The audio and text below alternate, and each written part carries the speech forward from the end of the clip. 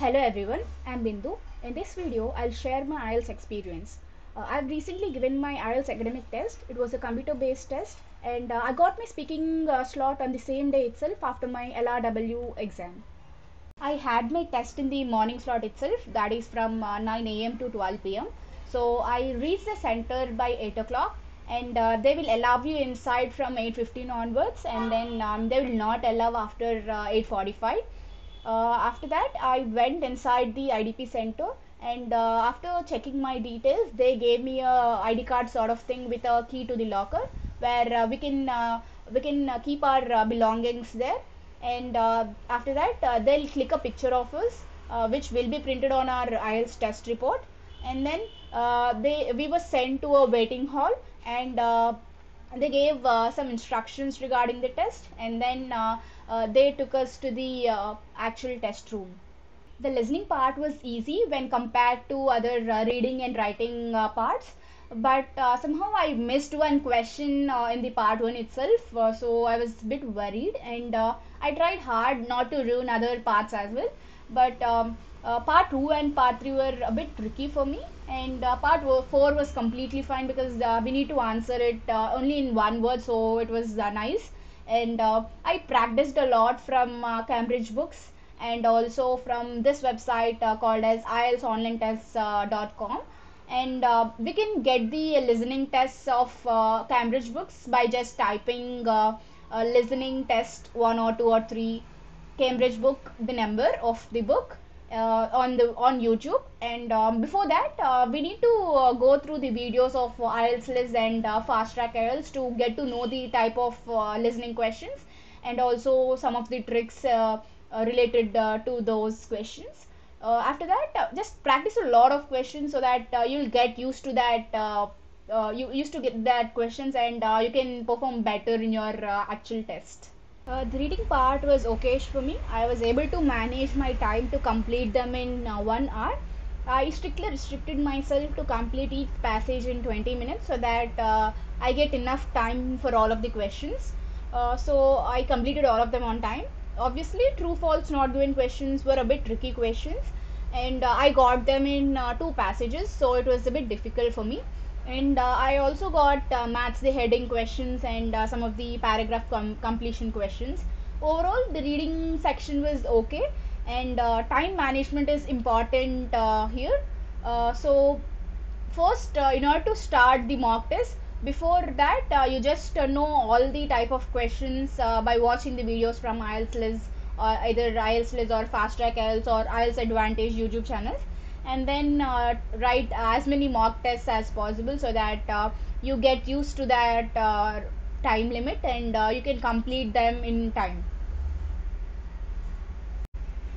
Now coming to the writing part it went well for me. Uh, coming to the task one i got a line graph uh, with uh, whi- which was about the population of a country over the years of three different age group people so we need to uh, illustrate them by uh, using the graph. So coming to the structure of uh, task one essay task one report we need to write four paragraphs. First paragraph is the introduction paragraph. First thing is just paraphrase the question statement and uh, the second paragraph is the overview. Mention all the crucial points of the graph and uh, start this paragraph with a keyword overview so that uh, uh, you can uh, mention the important points of the graph in that paragraph. And also don't include any accurate values uh, of the graph. You can add them in your body paragraphs. Then after overview you need to write two body paragraphs explaining each of them in detail and uh, there is no conclusion for uh, task one uh, essays because we have already written the overview and conclusion part is not required. And uh, you need to ensure that uh, you write a minimum of uh, 150 words in task one essay. And uh, you'll be shown the word count below your task and you can write accordingly.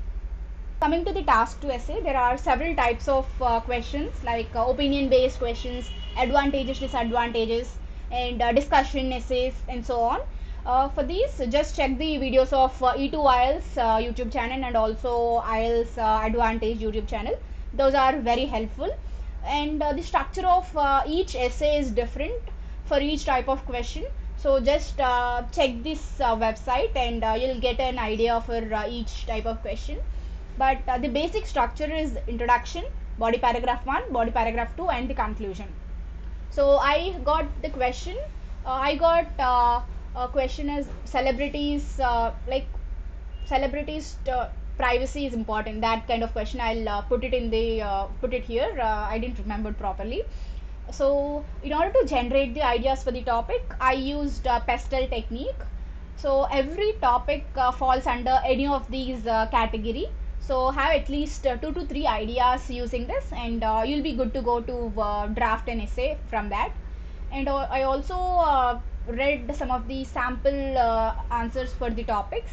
And uh, i referred the ielts advantage uh, website. I'll uh, put the link in the description of this video. Just check it out. So coming to my speaking test, I had my speaking test on the same day itself after my LRW test. So I was told to wait in a waiting room after my test and uh, uh, they called us based on our uh, time slot. Uh, so I was a bit tensed on that day and uh, they called me and I went inside. She was a lady. Uh, she wished me and she directly started the recording and then um, started asking me questions. For the part one, she asked me several questions like uh, about my house where I lived and uh, regarding my school days. And also, she asked me about my uh, favorite teacher in my uh, childhood and so on. I answered them well, and I was pretty much confident in this part. So now coming to the part two, uh, my cue card was uh, describe a book that uh, you have read multiple times. So uh, I made up a question. Uh, I made up a story in that one minute uh, time they gave. Uh, so I started talking I didn't uh, speak for uh, completely two minutes uh, as my pace was too fast. I ran out of words and uh, I abruptly ended.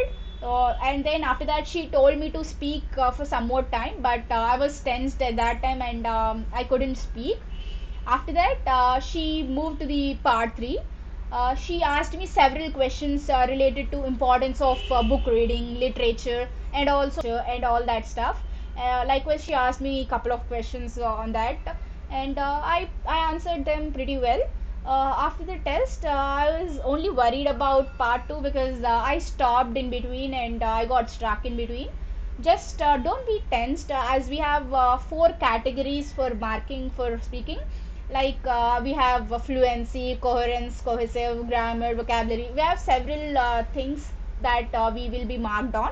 So even if we don't do well in any of them, um, it's totally fine. Uh, like I lost in fluency because uh, I stopped in between and couldn't speak for uh, complete two minutes at stretch, and uh, I think I performed well uh, uh, in the rest of them. And uh, I I took uh, several mock tests with my uh, friends and family. Uh, it is very important for us because uh, that will uh, boost your confidence in your speaking and uh, uh, that will improve your uh, speaking skills. So uh, coming to my result, uh, I got uh, my result after uh, four days of my uh, actual test. So I got uh, 7.5 band overall, uh, 7 in uh, reading, 7 in writing, 7.5 in uh, listening, and 7.5 in speaking. So I guess uh, it worked well. Uh, just uh, I want to wish you wish everyone all the best for your uh, test. If you if you have your exam nearby, just be confident and stay calm. You'll definitely do well. All the best.